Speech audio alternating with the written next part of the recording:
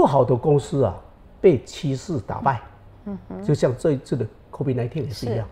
好的公司啊，克服趋势的干扰；顶尖的公司啊，驾驭趋势而壮大。请听与对话，我们的后裔时代，请益之旅。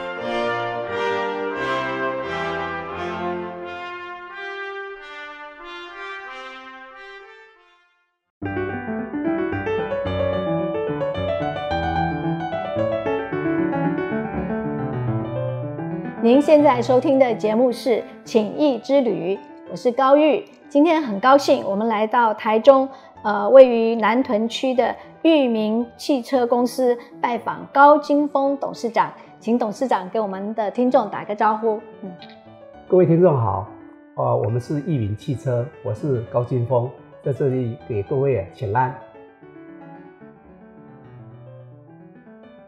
呃，刚才董事长给我们做了一个简单的简报，然后特别有介绍这个呃红鸟的这个习性哈，嗯，因为它会呃领袖带队，然后帮助整个团队一起在这个飞行中能够减轻大家的这个阻力。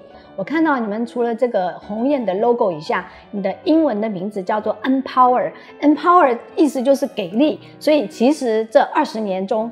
呃，你们这样子的一个 logo，其实对你们在整个的经营上头给了些什么力？嗯，好，这个我们公司啊，经营啊，它是第一个，我们讲究啊一个愿景，是对员工诉诉求愿景，是因为人呐，他啊，如果说这个没有一种愿景的话，他是没有工作的力量呀，所以哈。我们就每年呐都弄了一个愿景图，哇！那这个愿景图啊，我们把它挂在啊我们的公司的一个大礼堂，啊，就是啊我们会议会议中心呐，啊我们这些员工啊，呃这些主管啊，每个月啊，他都会来这边开几次的会议，是。他每一次来啊，就看到这个图，他就会有重新得力的一种感觉，是。所以这这十年来啊。我们每年呐都有依照我们的预测，然后啊把这个市场啊做一个啊这个评比以后啊，我们说今年要朝哪方面来走是最好的，所以这个愿景图啊就这样形成了。哦，我们常讲说哦，文呐不如表，表不如图，是。那我们把一个愿景图放在那里，大家一看呢就知道说我们今年努力的方向啊是朝哪方面的。这个我们已经试了十年了。所以在十年里面呢，哈，我们公司跟前翼龙日产的这个经销商啊，我们有九家，嗯，我们十年里面有七七次拿到第一名，太厉害了。嗯，我知道你在呃，请了东海大学的魏元圭教授来帮助你们做经营哲学的这个呃教学哈，有管子、老子、孙武。大学中庸、吕氏春秋、曹操管理哲学、论语、荀子、易经，好多耶，比那个中文本科系的学生还厉害耶。那我想要请教你，你的同事不会害怕上中文课吗？会不会打瞌睡？嗯，呃，不会的，这么厉害。我觉得哈，我们公司这个教这些哲学啊，呃，我就很奇怪的是，他他越学啊，他越有兴趣，越有兴趣的哦。那为什么越学越有兴趣呢？就是这个有一个法宝，呃，就是说哈，要会带领。是我们这个魏延圭老师啊，他接受我们的这个聘聘请啊，哈，啊，他来公司教这么久，教快要二十年了嘞。哇！啊，然后他他每次来讲一讲以后啊，最后一节课是由我主持的主持，是，然后我就请我们呃这个。啊，干部啊，发表感言。你今天听到了什么？是，所以我们这么久以来啊，哈，我们发觉他们，他们越来越越上道了。嗯，他们这个发表啊，我们讲，比如说是易经来讲，这一次他是讲这个震卦。那这个老师啊，他很会选择啊。比如说这一次我们不是呃这个全球性的呃呃 COVID nineteen 嘛，是啊，大家都很不好。到这个老师选这个卦，震卦就是地震这个震啊，嗯，啊，这个就突然间来这种情形啊，大家还震动以后，你们公司啊如何来面对？这里面易经就给你教六个方法，它因为有六爻，你就照这个方法来做。是啊，然后他讲了以后啊，我们就请三位来分享。我比如说，他讲得到说这个震卦的精神啊。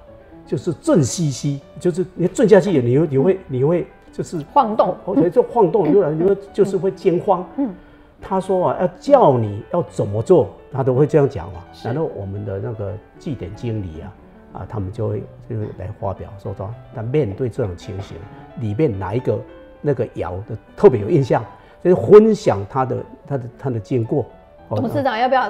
对，告诉我们那个六个爻，你只只要讲三个就好了，也让其他人能够能够分享一下你们的 pebble。哦，啊，这这个六个爻哦，因为我现在手边没有没有资料哈，你记得啊啊，我我在讲说，他说哦，你不用去多多紧张，是。啊，这个震卦，嗯，他叫我们说你必须哈要稳定下来，是，然后我们从这个稳定下来中中面团结啊团队的团队的力量。对团队的力量来克服它，是，所以这个是很很重要。重要，对。他们都是在讲，他说，没有不可以打仗的兵啊，是，只有不会带兵的将。